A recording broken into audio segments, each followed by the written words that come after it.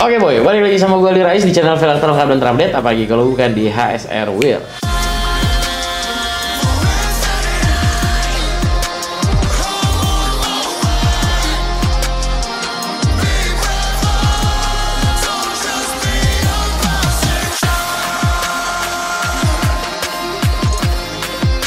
Nah, di video kali ini gue balik lagi mau nongkrong otomotif notif bareng sama Kolung dari Dokter Mobil.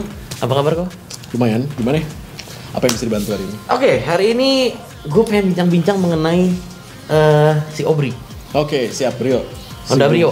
200 atau 1300? 1200. Kita 1200, oke. eh, pengen ngobrol-ngobrol tentang mesin 1200 Honda Brio. Oke, sip. Oke?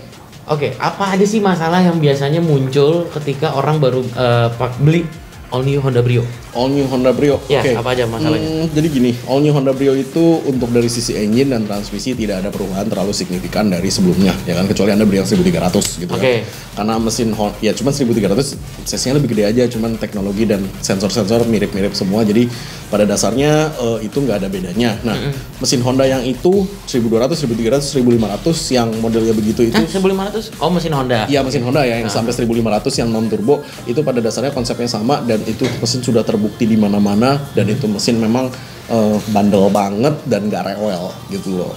Nah cuman problem di eh, Honda ini biasanya satu di ngelitik karena dia kepanasan ya kan? Biasa eh, Honda itu kalau misalkan udah beberapa tahun atau anda udah pakai agak lama coolernya anda nggak ganti atau radiatornya anda nggak maintenance dengan benar. Dan untung-untung karena Honda itu radiatornya kan gede tuh dia gede, kipasnya dua. Heeh. kalau mati satu lu biasanya nggak tahu iya karena kipasnya dua gitu. Bisa mati satu ya? Da- ya itu nanti ya setelah lima tahun gitu kan. Aha. Soalnya kita eh, berdasarkan data kita di lapangan itu biasanya mati satu, lu nggak tahu AC tuh masih dingin, cuman emang udah kurang dingin gitu. Nah biasanya indikasinya eh, AC-nya kurang dingin satu, dua mobil yang ngelitik. Nah itu nanti itu harus cepet di maintenance. Nah biasanya kalau udah mati ya diganti gitu kan motornya kan udah nggak bisa lagi. Terus ngelitik itu berdasarkan dari panas sih biasanya sih. Terus sama kalau untuk oli penguapannya nggak terlalu banyak juga. Untuk tenaga oke. Untuk transmisi Honda paling nggak ribet kalau anda maintenance dengan benar. Gearboxnya segala macam. Ya, kalau Anda Matic ya cari tahu nih Maticnya apa nih? CVT kah, ATF kah, ATF-Z kah gitu loh. Karena kan Honda kan ada beberapa tuh. Nah, ATF kalau CVT juga CVT 1 atau CVT 2. Banyak ya? Cuman pada dasarnya sih nggak ribet gitu untuk di maintenance gitu. Di buku lu ada sebenarnya kalau lu nggak suka bacanya nggak apa-apa gitu. Lu Kasihkan ke bengkel yang mengerti, dia bisa maintenance dengan benar. Nah, Honda itu problem terbesar yang paling sering saya temukan adalah kelistrikan ketika dia udah berumur. Nah, ketika dia udah cukup berumur, kelistrikannya itu dari kabel groundingnya, dari soket-soketnya, dari sensor-sensornya itu biasanya cepat rusak. Itu kalau Honda ya. Listrik, berarti lebih ke elektrikal ya? Yes, electrical. Kalau dari mesinnya? Kalau anda nggak telat ganti oli, coolant anda pakai yang bagus, bensin pakai yang oke, harusnya no problem kok itu. Mesin itu mesin Honda yang itu tuh bandel banget deh bro. Makanya kenapa Honda tuh udah nggak mau pusing karena ya itu. Jadi dia bikin berbagai macam mobil ya kan kayak uh, BRV, Mobilio, Mobilio ini itu kemudian sampai uh, HRV juga, sampai Jazz, sampai Freed ya kan. Itu kan sama mesinnya semua. Ya, L12, 13, 15. Heeh, mesinnya itu itu doang kenapa karena ya mesin itu sudah terbukti bandel gitu loh jadi si Honda sendiri pun udah nggak mau ambil pusing gitu loh Tinggal masalah maintenance kayak tadi ganti oli, Hmm, eh, coolant, bensin. bensin. udah bensin, berat- beli yang bagus ya karena kenapa sih Bentar, bentar. injektor Ini bensin yang bagus ini dalam artian oktannya atau saringannya jadi bensin itu jangan beli bensin BPJS Hah? Bensin ya, BPJS? bensin BPJS ya kita tahu lah ya yang paling murah kan Oh, bensin premium. subsidi pemerintah ya kan Ah. Nah, Oh, pertalit dong. Iya. Itu juga kenapa sih kok Pertalite sama itu harganya bisa murah? Nggak mungkin kan pemerintah subsidi bensin harga 10 11 ribu disubsidi jadi harga segitu kan nggak mungkin kan? Otomatis si eh, pemerintah akan minta Pertamina untuk bikin bensin yang lebih murah dan mereka subsidi supaya harga segitu kan gitu kan. Nah, gimana sih caranya bikin bensin murah? Saya mau tanya, ada yang ngerti nggak gitu gimana caranya bikin bensin murah? Orang Pertamina pasti tahu penyulingannya dibikin sedikit atau penyaring ibaratnya kita ngomong bahasa orang awam saringannya kita sedikitin Iya. yang, kan- yang tadinya misalkan 10 kali proses ini ya lima kali aja cukup lah ya kita kita jual ya gitu loh dan aditifnya dikurangin gitu loh Intinya belinya ya kalau bisa minimum pertamax lah. Iya, karena kenapa penyaringannya lebih bagus. Bukan kita nggak ngomong oktan doang ya. Oktan oke lah itu satu hal, tapi penyaringannya lebih bagus sehingga si injektor lu lebih awet. Terus kalau si Honda Brio ini pakai eh, Pertamax Turbo, itu boleh? Terlalu panas.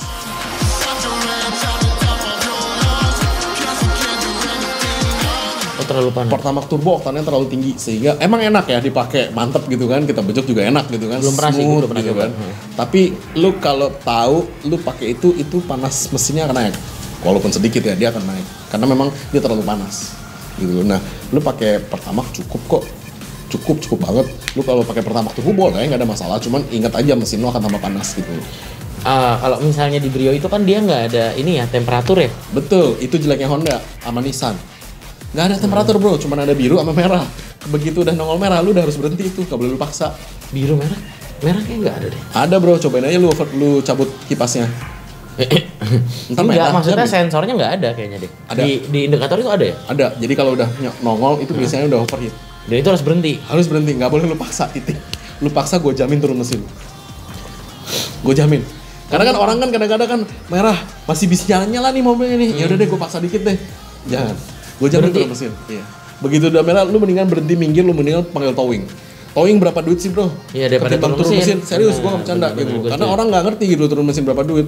Bisa berapa belas juta loh. Iya, minimal minimal 15 20 pasti keluar. Makanya, kalau lu panggil towing paling 600 ribu, ya kan? Ya, sejuta Sampai lah, bengkel, mahal lah, sejuta lah ya. Sejuta lah paling mahal. Sampai Iya. bengkel, ternyata cuma selangkah radiator doang yang pecah. Gantinya 400 ribu. Isi coolant, cuma keluar Selesai. berapa duit, ya kan? Nggak jadi keluar 20 Nggak juta. jadi keluar 20 juta gitu loh. bisa tuh beli iPhone 12. Nah, orang-orang tuh kadang nggak ngerti kan begitu udah keluar nongol merah itu udah lu udah lah lu berhenti deh lu panggil towing deh lu percaya sama gua dah itu akan lebih murah jauh gitu loh Nah, berarti penting nggak sih pasang tak- eh, akan ada takometer water ya? water temp Ah, water temp itu Penting. nggak sih kalau untuk. Honda Brio? untuk semua mobil yang sudah berumur penting karena kenapa mobil-mobil yang ada water tampnya juga itu kan cuma nunjukin setengah doang kan Iya. lu nggak tahu kan dia berapa Berapa derajat gitu. Nah, kalau misalkan mobil-mobil eh, yang tua itu kita butuh bikin mobil itu semuanya tuh pokoknya di Indonesia tuh intinya lu bikin dingin deh sedingin dinginnya deh kan begitu kan Karena cuacanya ter- karena cuacanya panas, banget, ya kan? Nah, ketika mobil itu dingin, piston-piston juga lebih awet, olinya juga lebih nggak menguap. Kalau piston-piston eh, apa namanya tidak memuai, itu kan berarti kan tenaga lu lebih ada. Terus wear and tear, umur parts lu juga lebih panjang. Berarti kalau ibaratnya nih, kalau misalnya ada duit lebih, ya udah pasang aja takometer untuk water temp, water temp. setahu gua. Water temp tuh yang penting tuh ada ya kan. Jadi kan itu kan water temp kalau nggak ada mau pasang itu biasanya dia ada satu soket di eh, biasanya di selang radiator depan itu dipotong, dipasangin soket terus dikasih sensor. Ah, Nah sensor itu masuk ke dalam, di dalam ada lo, bulutannya tuh, water Iya, temperature berapa gitu kan, ada yang digital, ada yang gitu. Paling murah itu 700 ribu udah sama soket adaptornya itu. ya Dan itu, lumayan ya untuk meng, apa ibaratnya meredam lah. iya lu Jadi butuh kita tahu tahu. gitu kan. Nah, Dan itu gua gua pakai yang 700 ribu di Avanza gua yang lama ada kali lima tahun bro nggak rusak rusak. Alatnya. Iya barangnya nggak rusak rusak.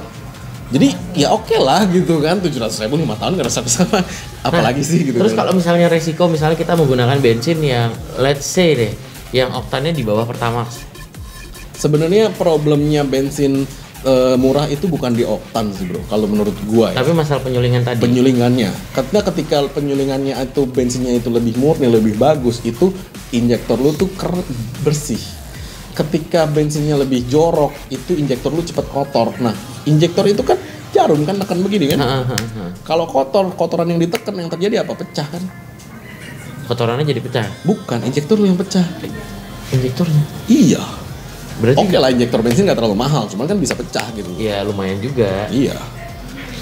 Iya, gue sih bandinginnya sama injektor diesel ya, satu biji bisa berapa juta lu gila. kalau diesel. iya, diesel tuh makanya kenapa kalau diesel eh, kalau ditanya pakai biosolar bagus nggak? Oke, saya bilang iya kalau lu cuman mau sekedar jalan sih nggak ada masalah ya. Cuman kan yang namanya injektor itu kan jarumnya tipis tuh, dia neken begini kan, begitu dia neken neken neken, prak pecah, 4 juta bro sebiji, itu Innova loh. Kalau lu modelnya kelasnya Mitsubishi gitu kan udah tahu tuh 6 sampai 7 juta sebiji. Kalau lu kelasnya udah naik lagi tuh BMW, Mercy dan itu 40 juta sebiji, Bro. Oke. Nah, selanjutnya nih, kan si Obri kan udah kita eh, filternya kan udah kita ganti nih. Yoi. Kita bikin open eh, open filter ya istilahnya filter, ya. ya. Nah, itu ada resiko-resikonya nggak sih? Oke boy, sekarang gue ada di salah satu toko TKB Group Indonesia yang ada di daerah Semarang, tepatnya di Jalan Majapahit. Namanya itu adalah Outlander Modification. Nah, jadi bagi kalian warga Semarang dan sekitarnya, kalian langsung datang aja ke toko nih. Kalau kalau misalnya kalian mau ganti velg, ganti ban, isi nitrogen, tambal ban atau mau balancing roda. Atau kalau mau fitting-fitting velg secara gratis langsung datang ke toko boleh. Atau kalau kalian mau spuring nih, karena udah ada spuring di sini. Nah, langsung aja nih, di follow dan dikepoin akun Instagramnya. Eh, open filter selama anda pakai filter yang bagus, Heeh. penyaringannya akan tetap sama. Sebenarnya bikin filter itu yang penting eh, udaranya lancar dan dia tetap tersaring. Jadi nggak boleh nggak disaring. Jadi kayak misalkan or- ada orang-orang yang jual filternya dari kawat. Eh, Oh, oh iya iya iya, tahu tahu tahu tahu tahu nah, tahu. seberapa hebat sih dia bisa menyaring gitu loh? Yang Jadi kan- kawat itu? Iya, intinya kan filter itu kan fungsinya filter kan untuk menyaring kotoran. Heeh, heeh. Kalau kotorannya nggak kesaring terus ngapain ada filter? Oh, jadi sebenarnya open filter pun nggak ada masalah. Nggak ada masalah, yang penting bahannya yang bagus bahan filternya. Saya pribadi cenderung lebih suka bahan yang cotton. Kenapa? Cotton itu kan katun kan. Iya. Jadi ya masih kesaring gitu loh, Bro. Kalau misalnya kawat ya Kalau kawat ya sekarang gini aja deh. Mobilnya sama, kita pasangin yang satu yang kawat, yang satu yang cotton. Terus kita lihat kita pakai selama sebulan terus kita lihat yang mana yang kotor. yang katan sih pasti. Kalau yang cotton kotor berarti cotton nyaring dong. Nah, kalau yang kalau kalau filternya lu pakai terus filternya nggak kotor-kotor, terus kotorannya ke mana? Bablas. Kena. I- Teorinya sesimpel itu Sesimpel doang. itu ya? Yes. Jadi nggak usah ribet-ribet mikir gimana Nah, gimana. katanya itu kalau misalnya udah pakai open filter itu bermasalah ketika eh, dicuci, hujan katanya. Hmm. Itu bener nggak sih? dicuci. Oke, jadi ketika open filter Anda Anda cuci itu kan bahannya cotton itu ada chemicalnya, Bro. Jadi oh, bukan maksudnya kayak air. misalnya lagi kena hujan nih, takutnya air masuk ke dalam cup apa segala macam. Kalau banjir ya sama aja, Bro. Jadi ketika banjir nih, lu mau open filter kayak lu mau filter biasa kayak sampai air itu masuk ke dalam filter tetap jebol kok anjing lu. Selesai udah. iya. Jadi kalau banjir jangan lu hajar gitu aja. Ya, kita tahu diri lah mobil ceper-ceper lu hajar banjir gelo aja ya kan. Kagak konslet udah bagus. Itu kalaupun kena hujan atau dicuci lah, masalah. misal cuci steam apa segala macam itu Nggak ada masalah, ya. masalah. karena dia masih ada di dalam cup yang Iya. terlindung. Kalau lu cuci steam nggak ada masalah. Kalaupun hujan kena air nggak ada masalah. Cuman banjir ya jangan lu hajar. Kalau cuci steam kena terus iya, berarti lu nyuci salah masa iya sih filter lu semprotin air segitu banyak sampai kan geblek itu bro. Takutnya kan dari luar kan dari da- misalnya dari grill depan terus kesemprot, nggak mungkin masuk banyak.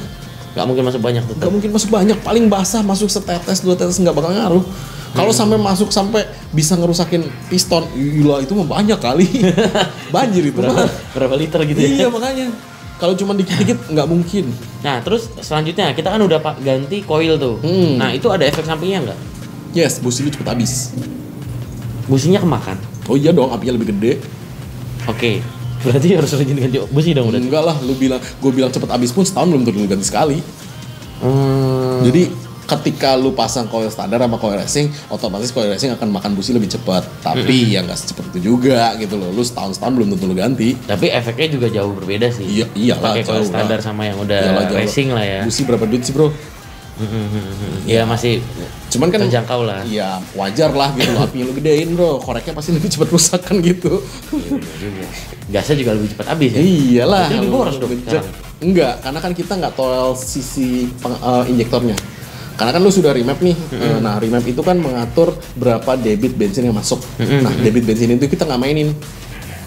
Hmm. Jadi debit bensin kan emang settingan gue nggak mainin. Gue hanya gedein pengapian sama gedein api. Oke. Nah, pengapian itu nggak hanya sekedar digedein, timingnya dibikin tepat, Tepat waktu. tepat waktu. Biasanya coil standar dan coil-coil yang nggak nggak terlalu bagus itu dia ketika diperintah sama ECU dia ada jedanya. Intinya semuanya harus tepat guna lah ya. Yes. Nah, terus selain dua itu, ada adakah part-part lain yang bisa diganti untuk mesin untuk mobil Brio? Banyak sih bro sebenarnya sih bro. Yang ibaratnya yang masih benar-benar eh, tidak berubah banyak ya. Oh iya mungkin ada. mungkin mungkin ada beberapa teman-teman yang mereka aduh gua nggak suka tampilan, gue lebih suka performa nih. Apa sih yang perlu gue upgrade? Tadi kan kita udah coba eh, open air filter, filter, sama coil. coil. Nah, terus apa lagi kira-kira yang ada signifikan gitu? Oke, tadi kan gue udah bilang tuh oh, Honda itu promen di kelistrikan nanti setelah beberapa tahun gitu kan. Itu nah itu Anda bisa tanggulangi dengan kasih kabel grounding yang lebih bagus. Kabel grounding itu signifikan loh. Karena kenapa? Sekarang cara kerja ECU dan sensor-sensor itu kan berdasarkan listrik nih. Si ECU kirim perintah. Nah, perintah itu dikirim dalam bentuk listrik. Nah, listriknya ketika udah sampai di sensor, listrik itu harus bisa balik lagi ke aki. Namanya kan closed loop system kan. Iya. Nah, ketika baliknya ke aki itu lambat, otomatis mesin lu akan non tidak seresponsif. Itu Tidak merespon. Ya, nah makanya kita banyakin kabel groundingnya, kita tambahin kabel groundingnya sehingga ketika kirim sinyal sinyalnya itu cepet pulang ke aki gitu jadi positif negatifnya pulang gitu Ibaratnya jalan pulangnya banyak. Nah, jadi jalan pulangnya lebih banyak sehingga sensor lu tuh lebih responsif. Nah, itu makanya kenapa kalau kita pasang kabel grounding yang bener, mobil tuh akan terasa lebih responsif. Iya, karena sensornya akan lebih responsif semuanya. Oh, itu fungsi dari kabel, Kabel ground ground. ya. Betul. Kan mobilnya si Bang Akbar kemarin yang eh, BMW itu pasang kan itu kan kabel ground kan. Nah, dia mau responsnya gitu loh dan eh, di video gue sebelumnya udah gue buktiin bahwa kalau yang namanya Honda itu di throttle bodinya itu memang ada listrik negatif yang besar sampai ke deteksi kok di alat gua. Oh. naik dia satu satu satu satu gitu loh. Nah itu ketika di grounding dia langsung flat tuh nol. Itu artinya bagus. artinya bagus. Jadi itu mobil itu akan responsif banget. Lu becer tuh langsung kebuka semua sensornya gitu loh. Nah itu satu. Dua ada beberapa alat lagi sih sebenarnya sih. Satu lagi tuh alat untuk menstabilkan gas blow by gas blow by gas pasti ada kan ketika piston bergerak itu kan pasti bocor lah sedikit-sedikit kan gitu Iya, kan iya. itu namanya blow by gas nah ketika kebayang nggak ketika kompartemen yang di bawah piston itu gasnya ke kebanyakan itu gimana piston naik turun berat kan Iya. blow by gas ini gue buang gue stabilin jadi ketika turun tuh loss. Oplos gitu. Nah, konsepnya Dia emang ya, jago kalau ngeplos-ngeplosin apa. Jadi kita memang spesialis ke teknologi yang unik-unik cuman terbukti gitu loh emang enak gitu setelah dipasangin gitu Dan itu durability-nya gimana?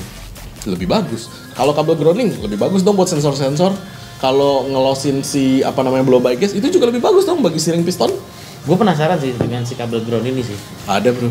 Itu produk gue yang itu kabelnya cuma satu, tapi itu gue coating dengan nanografin sehingga nggak se nggak sekedar transfer balik doang, tapi kecepatan transfernya bener-bener paling bagus di kelasnya. Ibaratnya dari USB udah pakai Type C ya. iya, jadi kalau orang audio kan pakai kabel-kabel yang namanya 0 AWG. Iya. Nah, 0 AWG itu kan besarnya kabel, jadi kan 0 hambatan. Nah, mereka dari 0 hambatan ini mereka masih ada lagi yang namanya flux. Fluxnya itu gue hilangin juga. Kalau lu tanya sama orang audio mereka ngerti lah gitu loh apa itu flux. Nah, setiap arus yang berjalan dia ada flux eh, right hand rule ya. Jadi kalau arusnya ke sana ya fluxnya putarnya begini. Nah, flux itu yang gue hilangin.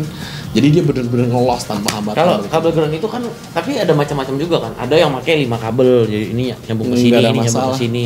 Enggak ada masalah. Lu mau pakai berapa? Kalau gue pakai satu aja. Satu doang. satu doang yang penting dari engine langsung ke negatif aki jadi transfernya tuh baliknya cepet Bedanya sama yang banyak apa? Sebenarnya sih lebih banyak jualan aja sih bro Jujur banget sih Bapak.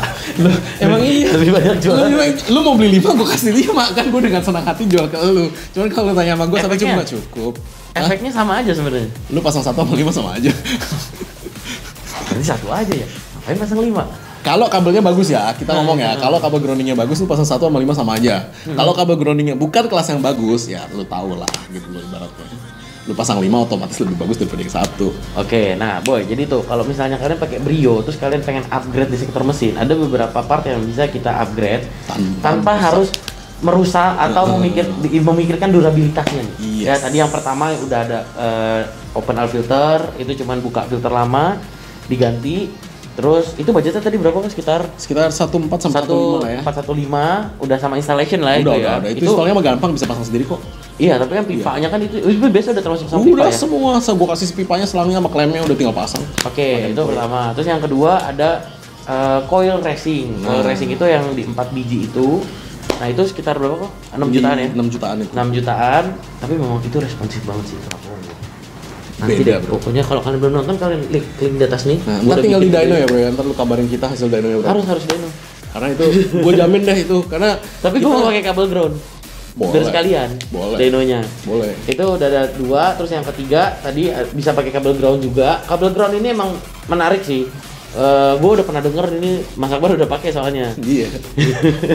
Dan dia pakai dia juga nggak ngasih tau orang kan dia pakai kan gitu loh. Karena ya itulah kita yang mengerti fungsinya kita bisa menjelaskan gitu loh. Kadang-kadang orang bilang oh kabel ground begini begitu begini begitu.